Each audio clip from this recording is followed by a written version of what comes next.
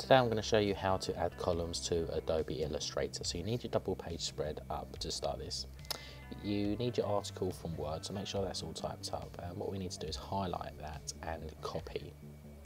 We then go back to Adobe Illustrator and then we find the rectangle box. Make sure there's no fill in this, so it's see-through when we actually click this. So you drag the box and then you go to Type Tool and make sure it's changed to area type okay then what we need to do is paste the article like so. And then we go to type and then we go to area type options. Okay so type at the top area type options click on that then it will give you a small box. We need to now focus on the column section. Click on preview and we need to change it to two. Okay so that's we're going to work with two. If you want to have a look at three just move the box over there and then you can see three columns for your article. But we're just going to work with two today. Once you're happy with that click OK and then it will change your column section.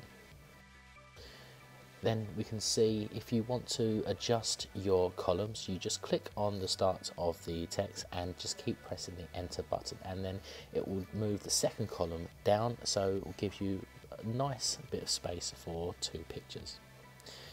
If you want not happy with where it positions you can click on the uh, tool selection mouse and then just move it across to a second page.